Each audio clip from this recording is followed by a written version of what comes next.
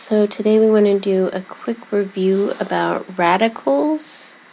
This is for Math 108. If we have a radical number that is not zero, and that's n, then we can define, and you guys probably remember radicals as something that looks like this. The nth root of a. This is called the index and this is called the radicand.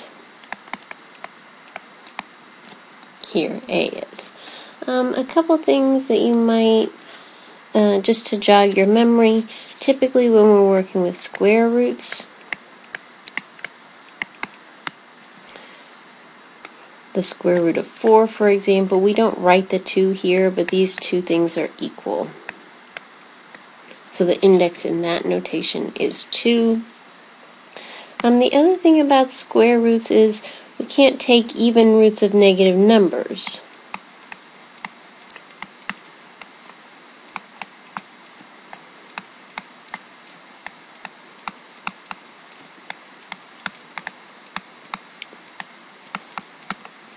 Or those are not real numbers anyway. So, for example, the square root of negative 4 is not a real number.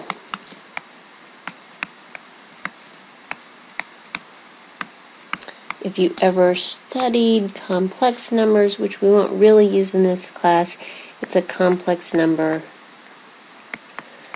And if you remember that, negative 4 is equal to 2i. But we won't really use complex numbers in this class.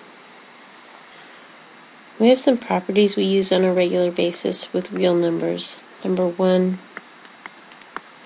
the nth root of a raised to the nth power is just a um, this looks like, for example,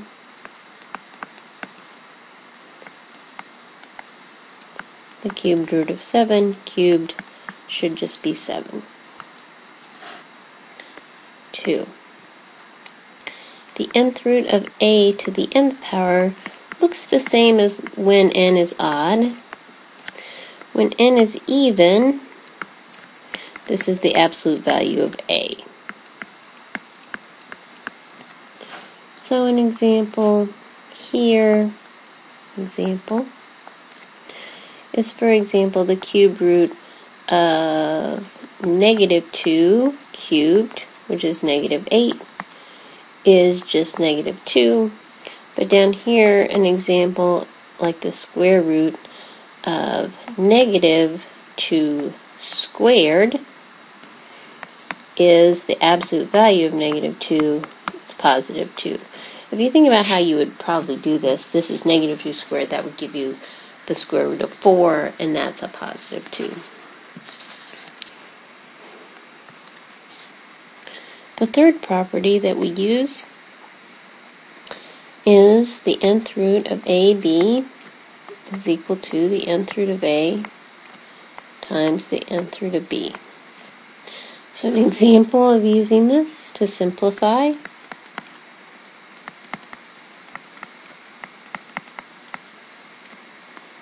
the square root of 200. Now when I simplify this, I'm looking for perfect squares that can factor out of this number. 100 is a perfect square, and I can factor 200 as 100 times 2. So this is the square root of 100 times the square root of 2.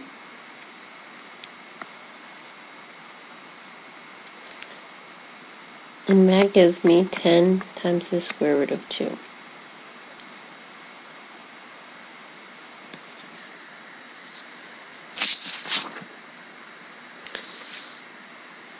Can you guys try this um, example, please?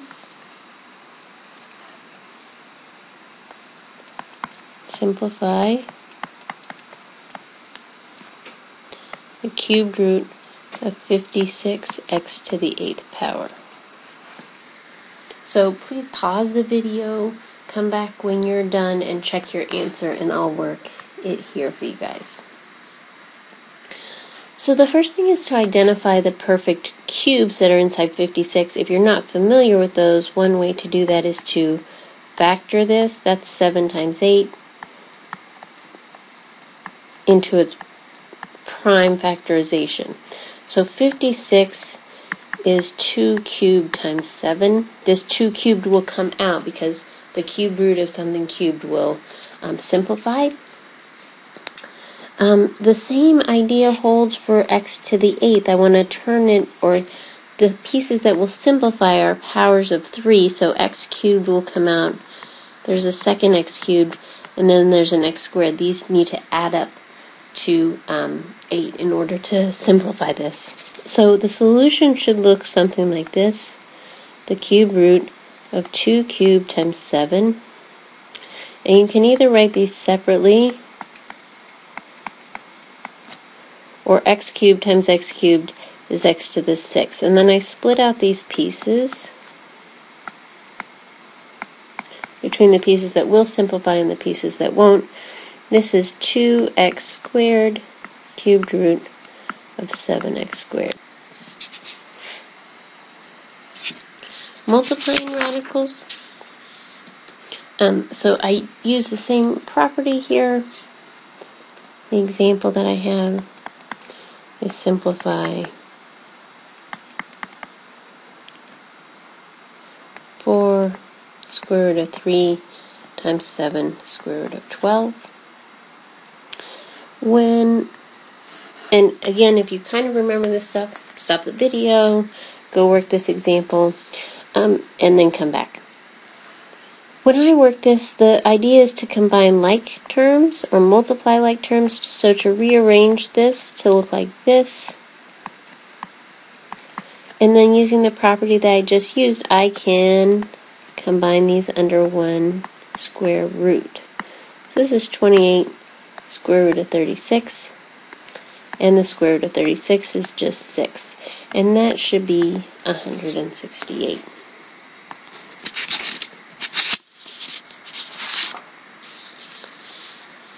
Um, dividing radicals, we use a fourth property.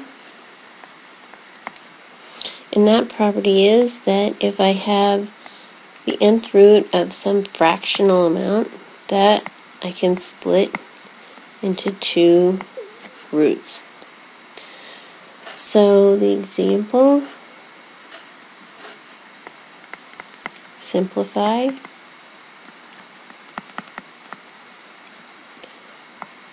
square root of b cubed over 4a squared, a, sure, 4a squared. Um, in, I want to split this up. The denominator is a perfect square, so this is the square root of b cubed and the square root of 4a squared. Now, I don't know if a and b are positive, so when this a comes out, and really I'm using, let's split off these perfect squares. So I have a b squared times b, and this really splits like this. So when the b squared will come out, but again, this is an even root, so really it should come out as absolute value of b. 4 should come out as 2, and this should come out as the absolute value of a. Okay? Sometimes in certain problems you'll see this at the in the instructions. Assume all variables are positive. Now, if that's true, if a is a positive number, then this simplifies the notation absolute value of a is a, and this thing here would be written like this. Let's see, B would be positive over 2A. No problem. Adding and subtracting radicals. Perhaps you remember we need the radicals to be um, similar radicals.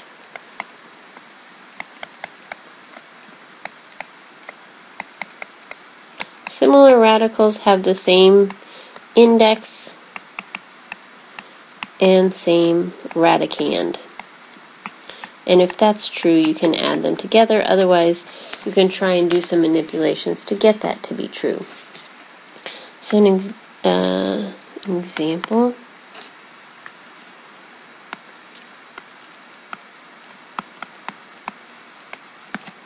So here, these are similar radicals. I have a square root in the first um, first term and a square root in the second term, and the radicand in both is 5. So I can add these together. To do that, you just add these coefficients, 3 plus 7, and it's 10 times the square root of 5. Sometimes you have to simplify first in order to add. So 2 times the square root of 18 minus 5 square roots of 32. Again, please try this one on your own and come back when you've done that. I'm going to simplify this.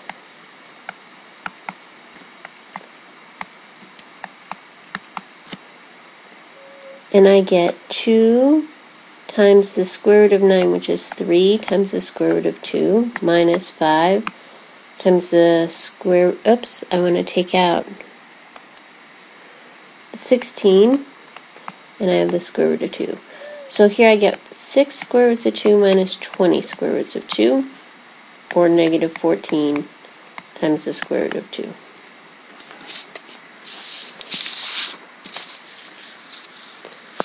Fractional exponents, oops, I think there's a typo right here, and As long as a is a real number and all roots exist, then for any rational number, we have this um, connection between this nth root of a to the mth power is the nth root of a to the mth power is a to the m over n. So examples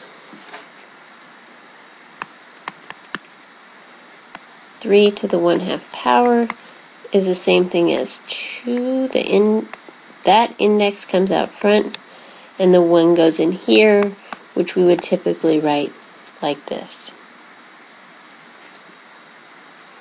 Um, I want to do one more example. Right with rational exponents.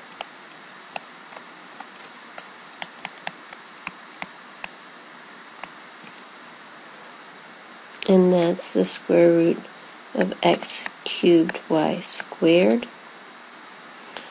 That should be the same thing as x cubed y squared to the 1 half power. And then I can use all of those rules I know from exponents to distribute this 1 half.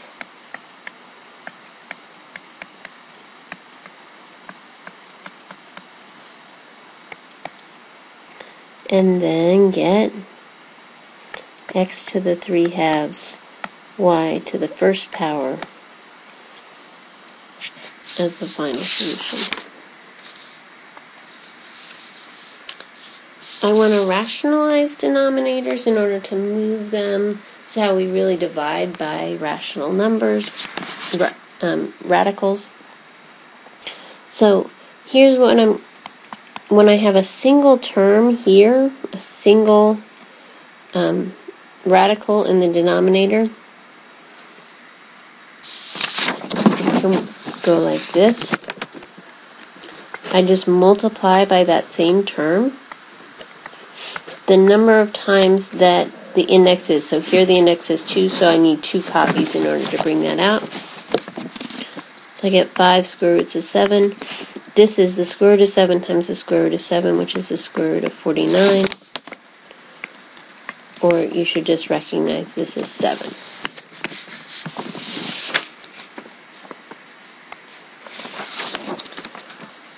When I have two terms in the denominator, I have to multiply by the conjugate.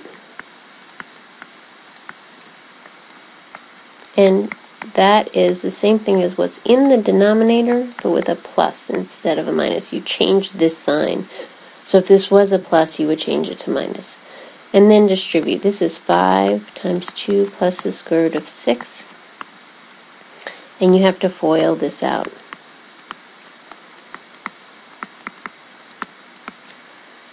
So I get 10 plus 5 square roots of 6.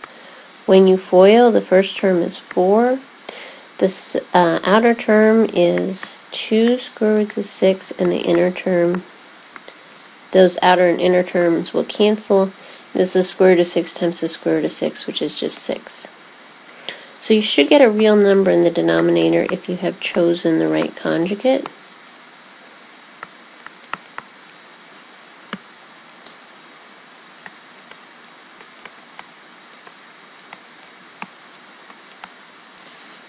over negative 2.